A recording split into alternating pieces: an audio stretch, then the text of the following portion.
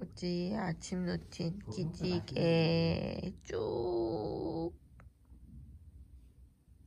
뽀치가 없어졌네?